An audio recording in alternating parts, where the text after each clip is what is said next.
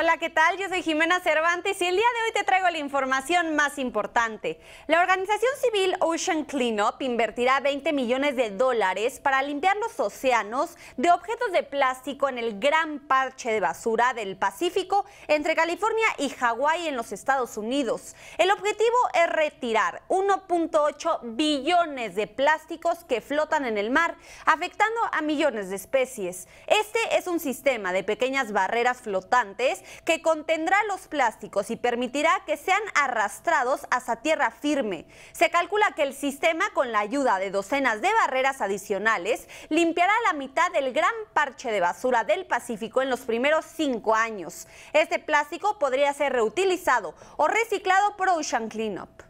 Y es momento de ir a más información. Un museo alemán anunció que regresaría a Namibia, un hito de navegación del siglo XV erigido por exploradores portugueses como parte de los esfuerzos de Berlín para hacer frente a su pasado colonial. La cruz de piedra fue considerada un marcador de navegación tan importante que apareció en los mapas del viejo mundo. En la década de 1890 fue retirado de su lugar en Cape Cross y traído a Europa por los entonces maestros coloniales alemanes de la región. Desde 2006 ha sido parte de una exposición permanente del Museo Histórico Alemán en Berlín, pero en julio de 2017 Namibia exigió la restitución de la cruz, que tiene una altura de 3.5 metros y pesa más de una tonelada. El regreso de la cruz marca un paso concreto para cumplir con el compromiso de Alemania de acelerar el retorno de los artefactos y restos humanos de las antiguas colonias africanas. Auch das gehört zur Wahrheit, war die Kolonialzeit ein blinder Fleck in unserer Erinnerungskultur. Und viel zu lange war die in dieser Zeit geschehene Ungerechtigkeit vergessen und verdrängt. Apariencia desnuda, el deseo y el objeto en la obra de Marcel Duchamp y Jeff Koons es la primera gran exposición en México y Latinoamérica que une la obra de dos de los artistas más prestigiosos del siglo XX al poniente de la Ciudad de México. Esta retrospectiva abarca tres pisos y se integra con más de 80 obras de artes icónicas y establece una conversación entre la obra de los dos artistas. Esta muestra estará en el museo del 19 de mayo al 29 de septiembre de martes a domingo. Hoy en día pensamos en Marcel Duchamp como el padre del arte contemporáneo, como alguien que transformó la definición que tenemos del arte eh, y sobre todo de cómo los artistas eh, pueden tener una injerencia en la sociedad. Y muchas veces se piensa en Jeff Koons como eh, alguien que simplemente está trabajando para el mercado o para el espectáculo, pero en realidad lo que esta muestra nos permite ver es cómo está trabajando en línea directa con esas mismas investigaciones que hizo Marcel Duchamp. Y en otros temas, Amazon lanzó una oferta muy tentadora como parte de los planes de la compañía para acelerar sus tiempos de entrega de dos días a uno para los suscriptores de su servicio Prime. La empresa hizo una propuesta a sus empleados y es que dejen su trabajo y les ayudará a abrir un negocio repartiendo mercancías de Amazon. También dijo que cubrirá hasta 10 mil dólares en costos de apertura de las empresas a los empleados que sean aceptados en el programa y dejen sus trabajos. También les pagará su salario de tres meses. La oferta está abierta a la mayoría de sus empleados a tiempo parcial y completo, incluidos trabajadores de almacén que empaquetan y envían los pedidos. El presidente de la República Mexicana, Andrés Manuel López Obrador, ofreció su conferencia matutina en Palacio Nacional, donde abordó distintos temas de interés para para todos. Vamos a ver los detalles. En el Salón Tesorería, el primer mandatario decretó el Día Nacional de la Lucha contra la Homofobia, Lesbofobia, Transfobia y Bifobia y señaló que el sustento principal de la Cuarta Transformación es garantizar los derechos y libertades a todos los mexicanos. Por ello, presentó las acciones de su gobierno para erradicar la homofobia, discriminación y los crímenes de odio. El sustento principal de la transformación es el garantizar las libertades a todos los mexicanos.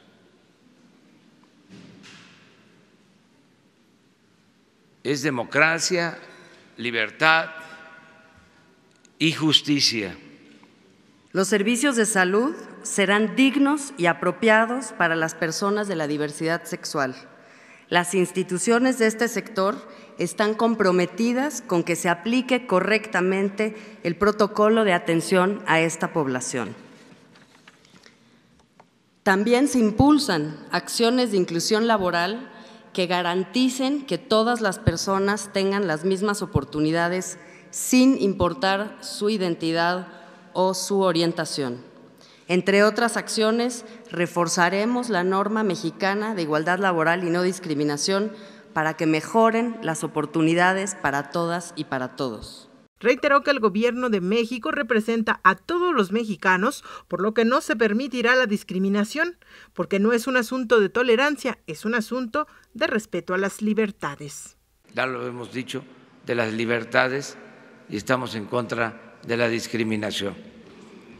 Y eh, Alejandra leyó eh, un párrafo.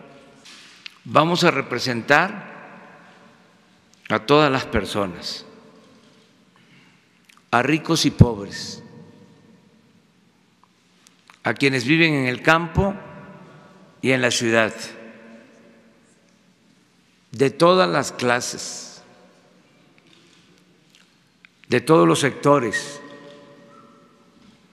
de todas las religiones, a libres pensadores,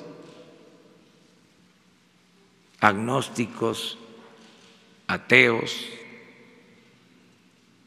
de todas las corrientes de pensamiento y de todas las orientaciones sexuales e identidades de género. Este semana la UNAM realizará la jornada de vacunación antirrábica interna de perros y gatos en las islas de Ciudad Universitaria. Se aplicarán 400 dosis para desparasitación y 300 vacunas antirrábicas para perros y gatos. Además, también habrá pláticas sobre la responsabilidad de tener animales de compañía, así como la medicina preventiva y la salud pública. Y les voy a presentar una iniciativa de llevar el cine a todos los rincones del país con un plus que todo se maneja con energía renovable. Vamos a verlo. Se trata de Cine Móvil Toto, un proyecto mexicano que lleva a las comunidades más alejadas del país proyecciones de cine con energía renovable. Es decir, los asistentes pueden participar pedaleando una bici para ver la película. Nos ocupamos dos tipos de energía renovable, la solar y la cinética de las bicicletas. Siempre es muy participativa la gente, sobre todo los niños son los más entusiasmados normalmente, eh, sin embargo chicos y grandes eh, pueden participar. Normalmente se hace una fila de gente que que espera su turno para pedalear. Y hay muchos niños que pedalean, a lo mejor cuando vemos mucha gente que quiere pedalear, los dejamos cinco minutos para cambiar, cambiar, cambiar. Y terminan de pedalear y se vuelven a formar. Entonces, sí, afortunadamente la participación siempre ha sido pues muy favorable. Esta es la quinta gira por el país. En esta ocasión recorrerá Chiapas, Oaxaca, Guerrero, Michoacán, Colima, Jalisco, Nayarit, Sinaloa y Sonora. Además de ofrecer funciones de cine mexicano, llevarán un mensaje de cuidado al medio ambiente y sobre todo a los océanos. IMCINE en esta ocasión únicamente les presta unas alrededor de cinco películas y cortometrajes, o sea, circo largometrajes y varios cortometrajes, pero en la cartelera, digamos, en general del proyecto es mucho más amplia. Creo que tienen más de 20 películas, que van, van rotando, ¿no? Para que no se proyecte la misma en cada comunidad. Entonces, si tienen 90 funciones, pues van rotando esas más de 20 películas. Por primera vez este proyecto se suma a los Objetivos de Desarrollo Sostenible planteados en la Agenda 2030 de Naciones Unidas para romper las brechas de desigualdad, pobreza y educación necesitamos que todos participen de la manera que sea, ¿no? O sea, realmente se puede ayudar desde tan distintas esferas que, que justo es importante contar con todos los actores. Cine Toto, Iluminando el Pacífico, ofrecerá 10 funciones por estado, además de actividades lúdicas y talleres para el cuidado de la vida marina, del 17 de mayo al 19 de septiembre. Cinemóvil Toto ha beneficiado a más de 70 mil personas al llevarles arte y cultura de manera gratuita. Ha logrado más de 350 mil funciones que se traducen en más de 60 mil kilómetros recorridos y más de 420 mil watts generados. Pues es muy gratificante, ¿no? Eh, tenemos la fortuna de conocer lugares que no son precisamente turísticos y que sin embargo tienen una riqueza natural y eh, cultural, la gente es muy buena. Son, son lugares que creo que poca gente ha tenido oportunidad de conocer, ¿no? Más que pues, la misma gente que está en la comunidad y alrededores. Bajo la producción de Jorge del Valle para Wipi TV, Jacqueline López.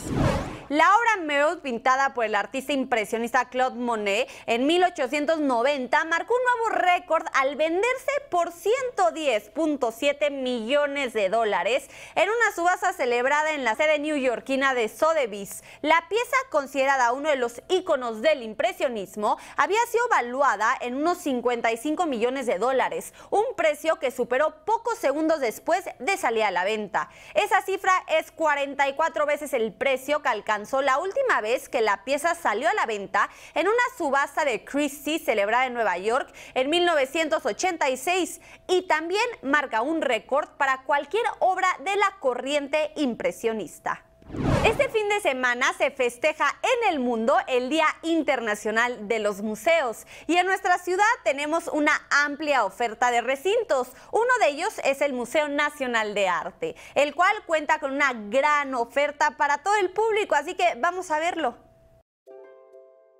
Entre la gran variedad de actividades que presenta el Monal se encuentra la exposición Atul, Tierra, Viento y Fuego, Sublime Sensación, cuyo propósito es acercar a los visitantes a la obra de uno de los pintores mexicanos más importantes del país. Su verdadero nombre es Gerardo Murillo y además de pintar también se dedicó a escribir.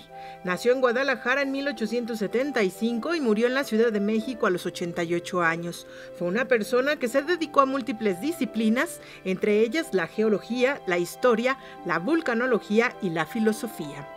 La exposición está conformada por aproximadamente 130 piezas entre cuadros, reproducciones fotográficas e impresos, 104 piezas son propiedad de la colección del museo, 5 son de colecciones privadas y una del Museo de la Acuarela.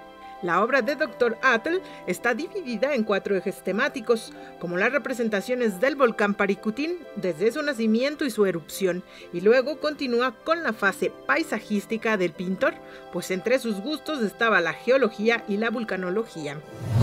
Eh, la consagración del Dr. Atle, que fue la representación durante dos años del nacimiento, crecimiento y, y actividad tantesca, telúrica y y violenta del Paricutín.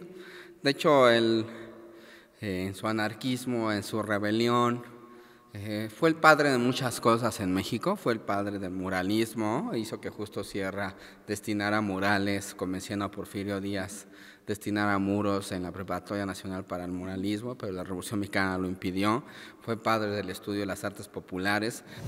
Como parte de la muestra, el MUNAL tiene actividades académicas, así como un espacio donde los niños aprenderán cómo es subir a un volcán. Doctor Attle estará disponible hasta el 2 de julio de martes a domingo de 10 a 18 horas. Bajo la producción de Jorge del Valle para Wipi TV, Jacqueline López. París celebra los 130 años de la Torre Eiffel con un gran espectáculo nocturno de rayos láser. Durante las noches de este fin de semana se harán esas proyecciones desde diversos puntos de la fachada de la torre, un espectáculo que dura 12 minutos. Como dato, la Torre Eiffel fue abierta al público el 15 de mayo de 1889, varios días después de su inauguración en la Feria Mundial. Para más información, no dejes de visitarnos en wipi.tv. Yo soy Jimena Cervantes y nos vemos a la próxima.